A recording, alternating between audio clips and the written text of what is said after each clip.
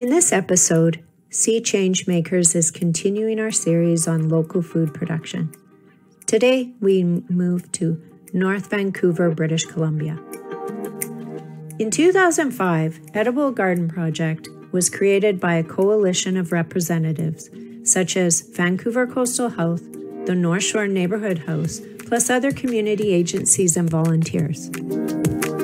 The idea was based on an access gap to fresh produce which was discovered by a Vancouver Coastal Health Food Security Survey.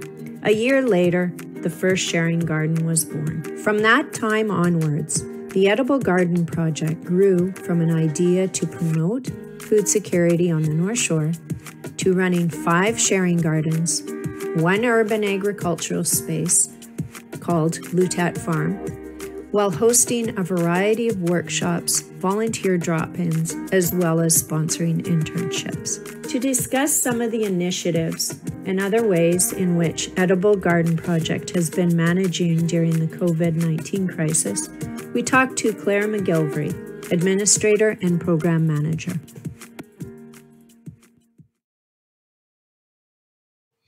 Thank you for talking with us today, Claire.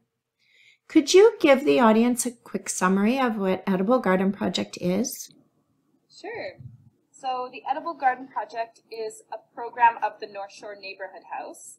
Um, and the North Shore Neighborhood House is a nonprofit based on the North Shore.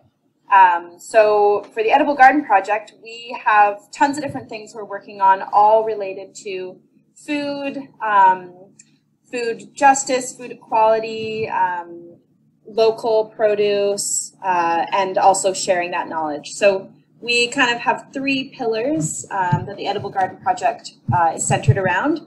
So one is teach, um, one is share, and one is grow.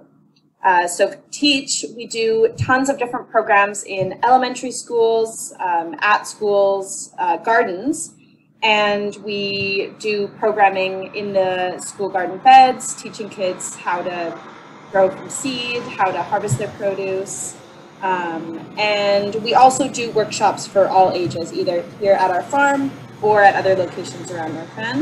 Um, Share is our Sharing Gardens program. So that's the portion of our food that we grow for donation to either food banks or other local charities. Um, and Grow is basically what happens at our half acre farm uh, here in lower Lynn Valley. Um, and we grow produce that we sell at our farmers market twice a week. So lots of different stuff. Thank you for explaining that. So Edible Garden Project, it's more than a community garden. Can you tell me why that statement holds true for your organization? Yeah. So in a traditional community garden, um, it's a plot of land and each community member has their own plot where they're growing food for themselves um, in kind of like a shared space. So we don't actually have community gardens per se, but at several of the community gardens in North Vancouver, we have what are called sharing garden plots.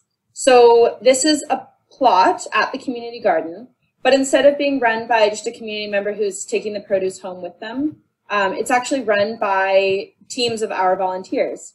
So we have five different sites uh, around North Vancouver and probably in total 50 volunteers that are part of the Sharing Gardens program. And what the volunteers do is they grow produce and 100% of the produce is donated to local charities. So a lot of it gets donated to the Greater Vancouver Food Bank. Um, much of it is delivered to the North Shore Neighborhood House and North Shore Neighborhood House staff will deliver it to um, seniors, elders, uh, families that are having a hard time accessing the food bank because yet they have to come in to access that food. So they'll do deliveries all over North Vancouver. Um, and we also donate to a women's shelter uh, and a halfway house and several other uh, local charities. So all that produce that's grown by those volunteers, 100% of it is donated um, to people who are having a hard time accessing fresh produce. Thank you, Claire. To learn more about the EGP initiatives and how they've been managing during the pandemic, go to our extended interview at See Changemakers podcast.